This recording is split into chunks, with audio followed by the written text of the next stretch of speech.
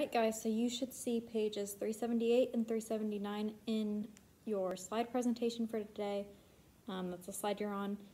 So those are the pages you should be seeing. Um, we're going to start reading our book, How Night Came from the Sea.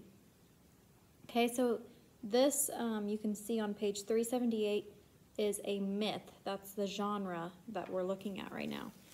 So do you guys know what a myth is without looking at the book? Can you tell me what a myth is? Okay, let's go ahead and read. It says, uh, myths are traditional stories that try to explain how things in nature came to be. So it explains how things around us work, right? Now, are these true stories or are they fake stories? Fiction or nonfiction?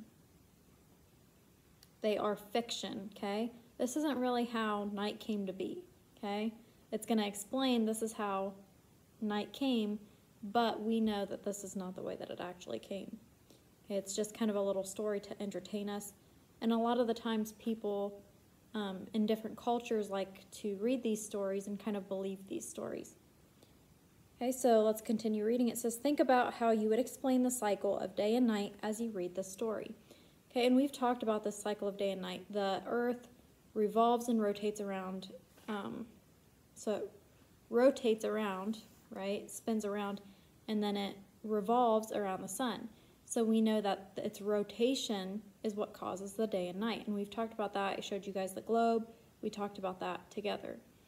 Okay, but this story is going to have a little bit of a loop to it. So maybe kind of compare and contrast, um, find differences and similarities as to your thinking of how night and day comes versus the stories, okay?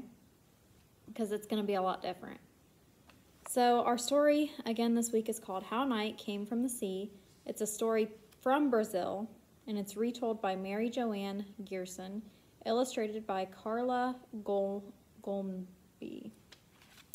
Okay, and our question of the week, how have people explained the pattern of night and day? Again, that rotation of the earth explains the pattern of night and day.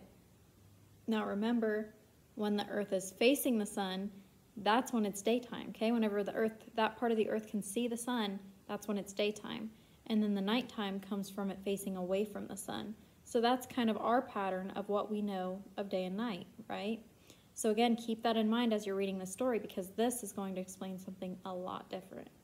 Okay, so go ahead and go to the next slide and we will continue on reading.